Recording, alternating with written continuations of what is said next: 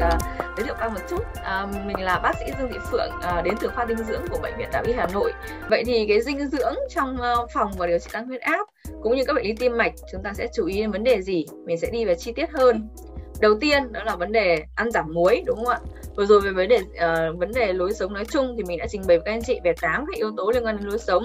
Thế còn tiếp theo về vấn đề dinh dưỡng thì cái đầu tiên mình phải nhấn mạnh đó là vấn đề ăn giảm muối thì ở đây mình sẽ trình bày với các anh chị một cái nghiên cứu khá là hay.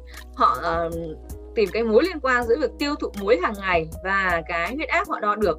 Thì họ thấy rằng là gì? Khi mà cái lượng muối mà tiêu thụ thấp ấy thì huyết áp của chúng ta có thể sẽ ở ngưỡng thấp thế nhưng mà khi chúng ta ăn tăng cái lượng muối lên cao hơn thì cái huyết áp chúng ta sẽ bị tăng cao hơn.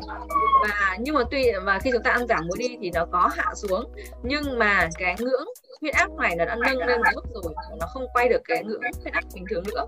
Ví dụ lúc đầu ban đầu huyết áp của, của bệnh nhân là 110 thế nhưng mà khi mà bệnh nhân ăn tăng ăn tăng muối lên nó sẽ tăng huyết áp lên cao hơn khoảng 140 nhưng mà khi giảm đi thì cái ngưỡng huyết áp nền đã tăng lên 120 rồi mà nó không về được bình thường nữa. Tương tự như vậy khi tiếp tục tăng cái lượng muối lên thì huyết áp còn tăng cao hơn nữa lên 145 150 nhưng mà khi giảm muối đi thì huyết áp cũng không thể về được 110 ngưỡng bình thường nữa. Mà uh, có thể lại tăng lên đến tận 130 như vậy có thể thấy là gì?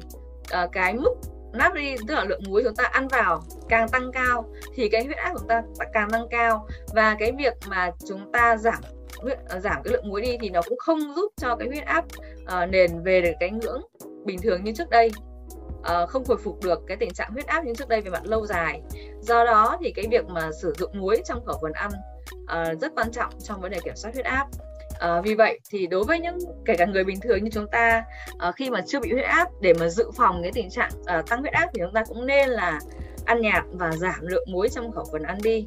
về như mình đã trình bày các anh chị là gì đấy, càng tăng muối thì huyết áp càng tăng và khi đã giảm xuống thì cũng không về được cái mức bình thường nữa.